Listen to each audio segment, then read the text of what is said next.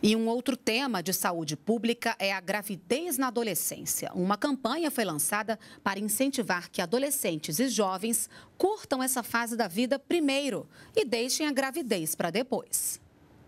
Giovânia descobriu que estava grávida de gêmeos aos 14 anos de idade. A notícia tirou da adolescente prazeres comuns desse período. As amigas saíam, elas iam lá em casa. Vamos, eu falei, como é que eu vou? Dois recém-nascidos para cuidar, não tem como.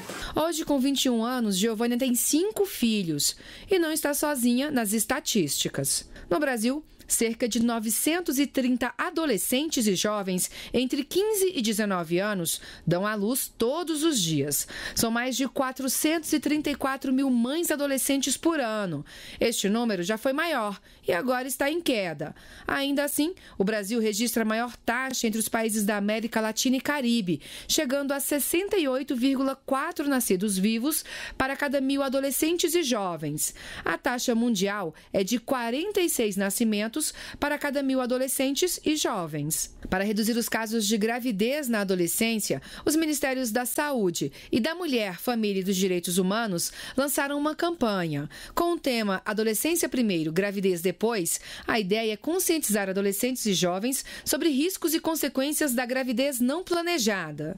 O adolescente que iniciou ou pensa em iniciar a vida sexual pode buscar orientações no Sistema Único de Saúde e não precisa ir acompanhado dos pais. O SUS oferece nove métodos contraceptivos de graça que ajudam no planejamento familiar. Entre eles está a camisinha, a pílula anticoncepcional e o DIU. Parar de estudar vai te tirar esse momento, que tem um momento de convivência, que é o momento de você estar com a sua turma, de você estar junto. Gravidez não combina com adolescência, não está na hora. 66%, 67% é não planejado.